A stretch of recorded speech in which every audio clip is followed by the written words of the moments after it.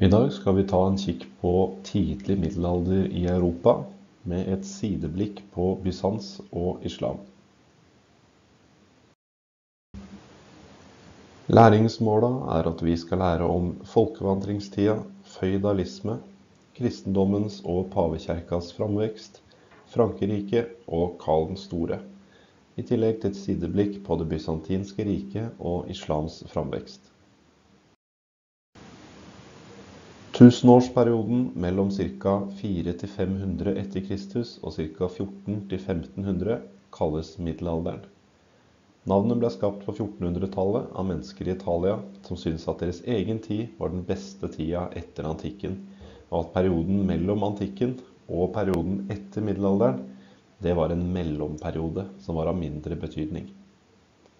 Vi deler gjerne den europeiske middelalderen inn i tre. Tidlig middelalder, 500 til 1000 etter Kristus, høymiddelalder 1000 til 1300 etter Kristus og seinmiddelalder 1300 til 1500 etter Kristus. Og så litt repetisjon fra antikken. For den hendelsen som på en måte setter i gang det vi kaller for middelalderen i Europa, det er at Vest-Romerriket gikk under i 476 etter Kristus. Øst-Romerriket, eller Det bysantinske riket, besto i 1000 år til. Noen av årsakene til at Romerriket gikk under, var befolkningsnedgang pga. pest, klimaforandringer, matmangel og høy skattebyrde for befolkninga. Det var også høye utgifter knytta til den romerske hæren, og riket ble invadert av germanske folkeslag. Perioden mellom ca. 400 og 600 etter Kristus den kaller vi for den germanske folkevandringstida. Dette er altså noe av årsakene til at Romerriket gikk under i 476. Germanske folkeslag la ut på vandring, og mye av bakgrunnen for det var at det sentralasiatiske rytterfolket, som vi kjenner som hunerne, invaderte Europa. De germanske stammene ble drevet på flukt vestover på kontinentet. Eksempler på germanske folkegrupper er frankerne, som etablerte seg i den tidligere romerske provinsen Gallia, langobarder, gotere, allemannere, anglere, saksere, vandaler osv. På kartet her kan dere se noen av folkeslagene og de vandringsrutene de tok i folkevandringstida. Europa i middelalderen kjennetegnes ved at det skjedde en sammensmeltning mellom romersk kultur og germansk kultur. Dette skjedde i de tidligere romerske provinsene når germanske folkeslag invaderte området og slo seg ned i området. Romersk kultur ble kjennetegnet av bl.a. en fast byråkratisk tradisjon, skriftlig registrering, skatter og avgifter, skriftlige lover og regler, offentlige tjenestemenn, altså byråkrati.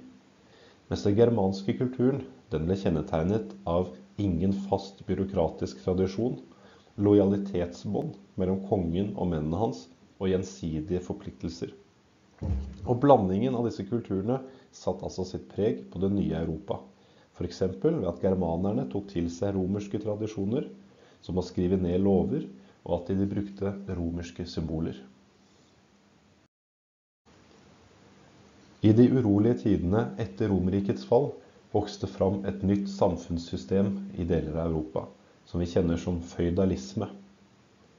Bakgrunnen for dette er at stormenn i Romerriket flytta ut av byene og til landsbygda. Der etablerte de seg på gods med private vaktstyrker for å beskytte seg sjøl siden tidene var så urolige. Bøndene søkte også beskyttelse, og de søkte beskyttelse mot stormennene, noe de fikk mot å gi fra seg jorda. Så Mye av føydalsystemet handler altså om makt og om jord og om beskyttelse. Det er et system der kongen eller herskeren er på toppen av maktpyramiden. Kongen distribuerer jord og makt nedover i systemet, til såkalte vasaller, eller stormenn som er lojale til kongen. Og i bytte mot jord så forventa kongen lojalitet og militær støtte hvis det var nødvendig. På høyre side på sliden her så ser vi en eh, maktpyramide som viser føydalsystemet. På toppen har vi kongen, som delegerer land nedover i systemet, og forventer å få militær støtte i gjengjeld. På nivået under kongen der har vi adelsmenn og kjerka, som igjen delegerer land nedover i systemet til sine vasaller. Og disse undervasallene under de største adelsmennene, det er gjerne de som tjenestegjorde i krig som riddere. Nederst i systemet så finner vi de menneskene som arbeida på jordene. Det er bøndene. Man kan også dele inn føydalsystemet i tre kategorier. Det er de som kriger, altså godseiere og riddere. De som eier len eller landområder. De som kunne dømme og straffe bønder som bodde på jorda deres. Mens den andre kategorien er de som ber. Det er de geistlige, kirkas menn, altså prester og biskoper. Og den tredje kategorien er de som arbeider. Det er bønder og leilendinger.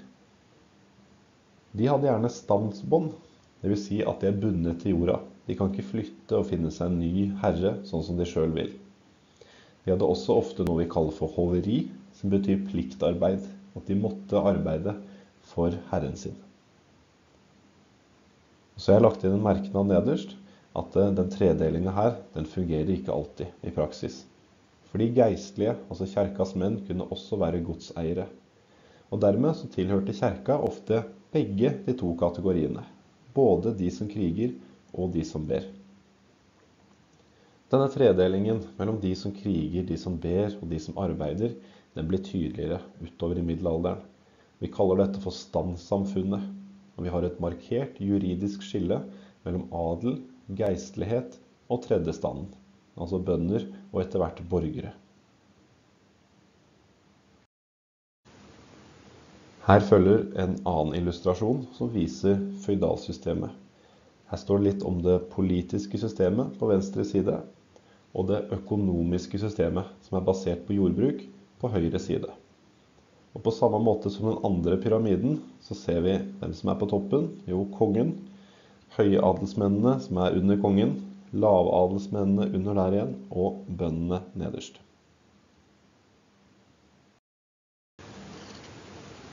Nå skal vi se litt på Europa i år 530 på det kartet på høyre side her. En oversikt over eh, landegrensene og de ulike maktfaktorene. Jeg har satt inn tre røde piler her som viser tre viktige maktfaktorer utover i middelalderen. Den ene er pavedømmet. Paven i Roma. De fikk enormt stor makt utover i middelalderen. Den andre er Frankerriket, og den tredje er det bysantinske riket, eller Øst-Romerriket, som det også blir kalt. Vi må også prate litt om eh, kristendommen. Fordi kristendommen og den kristne religionen det var en viktig brobygger mellom det tidligere romerske og den nye germanske kulturen. Og Den første germanske kongen som lot seg kristne, det var merovingerkongen Klodvig i år 496 etter Kristus. Kristendommen dreide seg ikke bare om selve troa. Kirken blei også en maktinstitusjon i seg sjøl. Organisert i distrikter med biskoper, prester, munker og nonner osv. Og kirkeorganisasjonen tok over en viktig rolle etter at det vestromerske riket smuldra opp og maktapparatet der forsvant.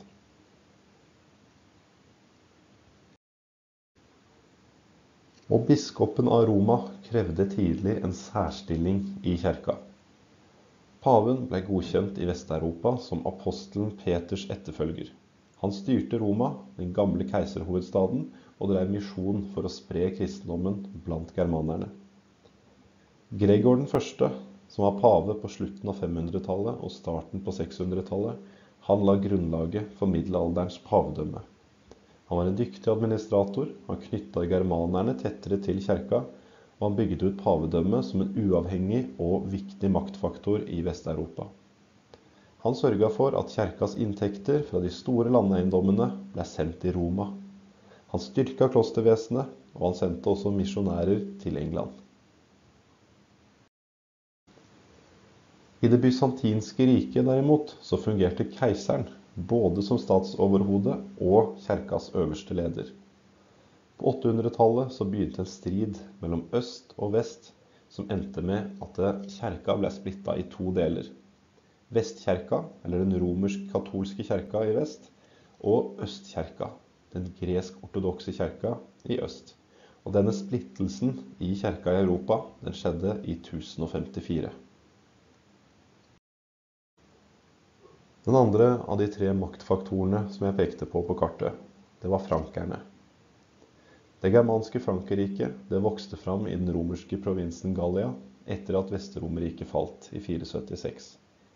Frankerne var et forbund av ulike germanske stammer som kom fra den nordvestlige delen av dagens Tyskland. Frankerne ekspanderte eh, arealmessig under merovingekongene på 500-tallet. De førte også en innbyrdes mellom rivaliserende konger og den såkalte karolingerslekta tok makta på 700-tallet. Og Det var under karolingerne at frankerne hadde sin storhetstid, og da spesielt under kong Karl den store, som levde på 700- og 800-tallet.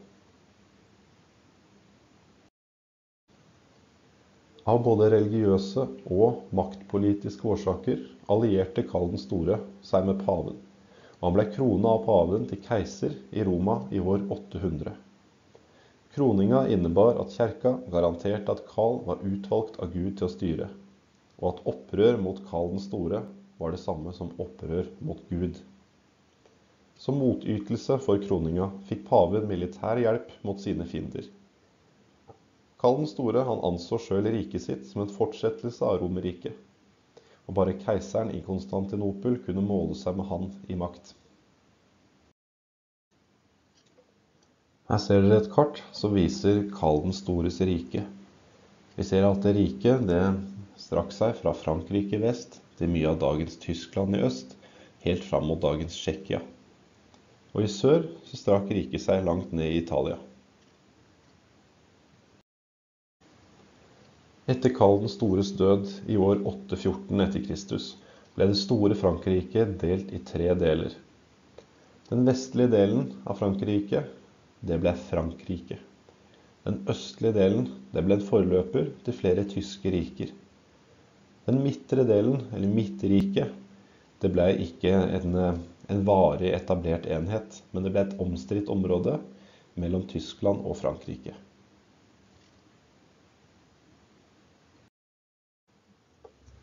Og så har vi kommet til den tredje store maktfaktoren i Europa i den tidlige middelalderen det er det bysantinske riket, eller Øst-Romerriket. I øst eksisterte Romerriket i ytterligere 1000 år etter Vest-Romerrikets sammenbrudd. Dette riket det kjennetegnes av en sterk sentralmakt med en velutstyrt hær av både frie bondesoldater og leiesoldater. Og til forskjell fra i vest så fantes det en sterkere sammenblanding av keiser- og kjerkemakt i øst. Det var altså keiseren av det bysantinske riket som også var den øverste leder av kjerka i øst. Som oftest så bøyde kirkens leder, patriarken, seg for keiseren og hans vilje. Områdene i den østlige delen av Middelhavet var rikere på mennesker og ressurser enn den vestlige delen av det gamle Romerriket. Så i øst så levde romerske tradisjoner videre, smelta sammen med orientalske skikker og den helenistiske arven etter grekerne. I det bysantinske riket var lenge drømmen om det gamle Romerriket levende, og de ønsket å gjenetablere Romerriket. Dette ønsket det manifesterte seg gjennom keiser Justinian og hans erobringer på 500-tallet. Bysantinerne førte en rekke kriger mot det persiske Sassanideriket og seinere mot den framvoksende islamske ekspansjonen. Dette kartet viser det bysantinske rikets utstrekning på sitt største i år 565.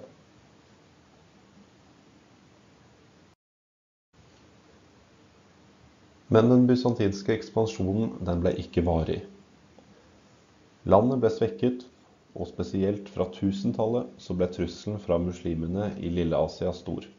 I tillegg var slaverne på Balkan germanerne og pavekirka i konflikt med det bysantinske riket.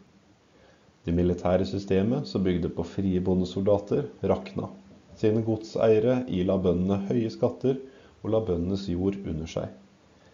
Riket ble mer avhengig av leiesoldater. Fram til 1400-tallet var det bysantinske riket kun en skygge av seg sjøl. Dette la veien åpen for rikets sammenbrudd, og hovedstaden Konstantinopel ble inntatt i 1453 av osmanene. Dette kartet viser det bysantinske rikets utstrekning på tre ulike tidspunkt. Den røde linja viser 500-tallet under Justinian. Det blå området viser riket i 1020, og det lyse området rundt hovedstaden Konstantinopel det viser riket i 1360. Og da er riket svært svekket. Og så litt om splittelsen av den kristne kjerka i 1054. Den østlige og den vestlige delen av det gamle Romerriket utvikla seg forskjellig gjennom middelalderen. Den bysantinske keiseren var ikke begeistra for pavens kroning av Karl den store, og stridighetene mellom patriarken i Konstantinopel og pavekjerka svekka båndene innad i kjerka. Begge kjerker bygde likevel på felles grunnsetninger fra de store kjerkemøtene på 300- og 400-tallet, og de ønska en sterk kristen enhet. Tidvis så samarbeida de, men etter hvert ble motsetningene tydeligere. Det kjølige forholdet mellom øst og vest endte med en varig splittelse av kjerka i 1054. Årsakene til denne splittelsen i 1054 de har både teologisk og maktpolitisk natur. Av teologiske årsaker kan vi f.eks. nevne uenigheter i synet på Jesus' sanne natur. Men det er kanskje de maktpolitiske årsakene som er viktigst her. En av faktorene er at Østkjerka var under den bysantinske keiserens kontroll, mens Vestkjerka havna på den tysk-romerske keiserens side. Det var også stridigheter om misjon og slaverne i Øst-Europa, Misjonærer fra Bysants de tillot at gudstjenester foregikk på slavernes eget språk, og i tillegg så utvikla de det kyrilliske eller slaviske alfabetet. På denne måten vant Østkjerka innpass hos russere, serbere og bulgarere. Vestkjerka de sikra seg at den romersk-katolske lære ble dominerende i de polske, slovenske, tsjekkiske og kroatiske områdene. Det er altså maktpolitiske og religiøse årsaker som står bak splittelsen. Og så har tida kommet for islam. Rundt år 600 grunnla profeten Muhammed en ny religion kjent som islam, med sentrum i den arabiske byen Mekka. Ved Muhammeds død i 632 var hele den arabiske halvøya samlet om islam. For første gang ble det dannet et arabisk fellesskap, som etter hvert ble styrka gjennom religiøse ritualer. Den islamske ekspansjonen fortsatte etter Muhammeds død. De neste århundrene erobra araberne et verdensrike, som på sitt største strakte seg fra Spania i vest til Afghanistan i øst. Dette riket ble holdt sammen av islamsk tro, en livlig handel, det arabiske språket og en blomstrende kultur og vitenskap. Fra 900-tallet ble det enorme riket delt opp i flere mindre stater. Dette kartet viser utbredelsen til det arabiske kalifatet. Det hadde sin største utstrekning rundt år 740. Det er den røde linja rundt kartet her. Kartet viser også det bysantinske riket og viktige islamske stater da kalifatet ble delt opp.